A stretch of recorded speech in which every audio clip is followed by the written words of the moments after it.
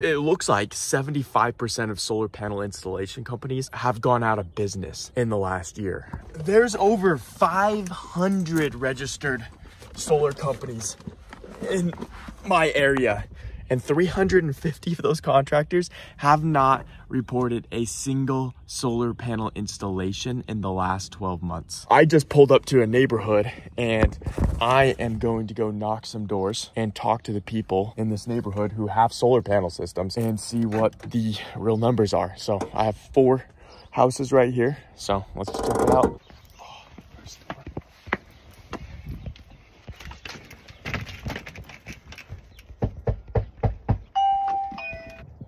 Nobody's home.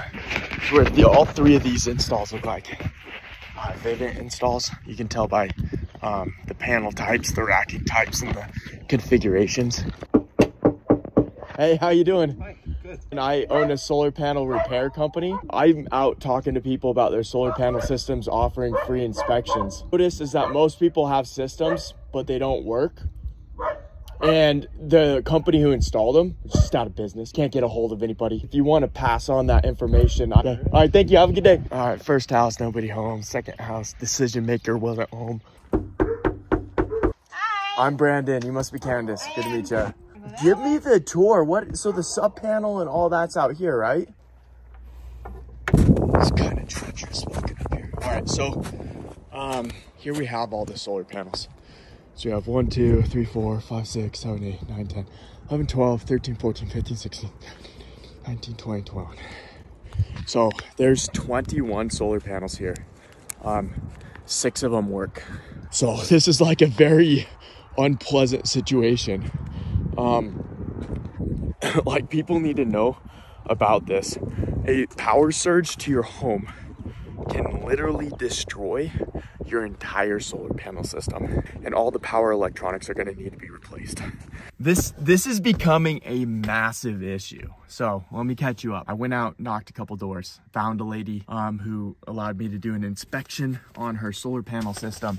When I inspected it, found out that only eight of her 23 solar panels were working. After that, I called the manufacturer, called the power company, called insurance. But essentially what happened was there was a power surge due to storm, a lightning strike. The power surge destroyed um, over half of her solar panel installation.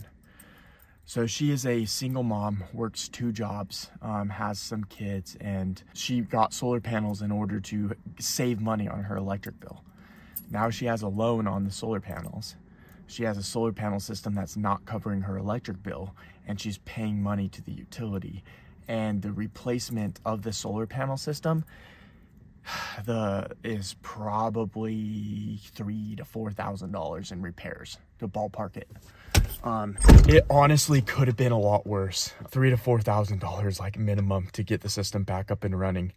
Um, this is something that people in the solar industry should know about. If you have solar panels, make sure you have a whole home surge protection device installed. It's a $100 device, goes inside of your main panel. It's not that difficult to wire up and it will save you thousands of dollars. If you ever have a surge, a power surge from the utility. And it's interesting because the utility company is going to be slow to admit that they were the cause of the problem and the manufacturer of the microinverters does not warranty a grid event that's outside their control. The homeowner's at a loss. So it's going to fall on the homeowner's insurance which if you file a claim, it's going to be expensive and it's going to raise your rates. In, in a follow-up video, I'm going to be installing a whole home surge protection kit at this site um, in order to make sure that this doesn't happen again.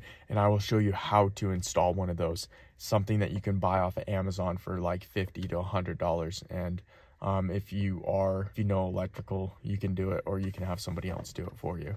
Um, but for this situation, I'm going to contact the power company, the insurance company, um, and the uh, the manufacturer, and I will let you know how this process goes um, with trying to um, warranty or make these repairs.